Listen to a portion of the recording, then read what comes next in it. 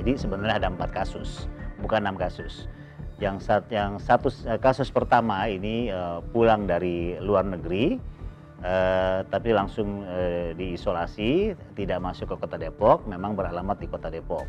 Yang kasus kedua uh, ini memang kasusnya sekarang posisi orang tersebut ada di luar negeri uh, karena memang uh, ter apa namanya terdeteksi omikronnya itu justru di luar negeri seperti itu. Sebelumnya memang sempat pulang cuti lalu balik lagi ke tempat kerjanya dan dinyatakan uh, terdeteksi omikron itu di luar negeri.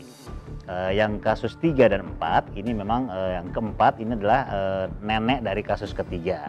Yang kasus ketiga ini memang dia pulang dari uh, Jawa Timur uh, naik kereta api pulang dari itu terpapar COVID-19 dan deteksi ternyata uh, Omikron dan neneknya tertular dari uh, dari si cucunya ini.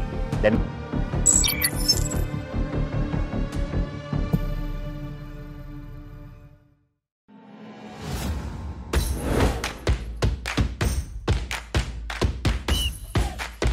bubur ayam kalau diaduk-aduk jadi cair.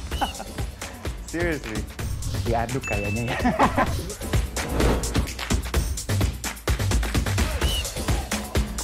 Mau pro luar negeri gimana ya? Ini demi kemajuan bangsa Indonesia.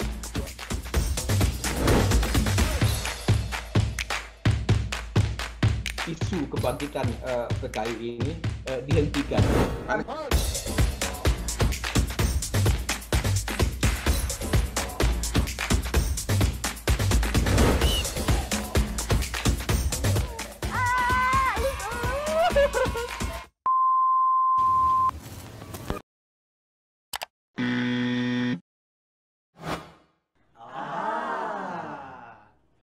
Medcom.id, a part of Media Group News.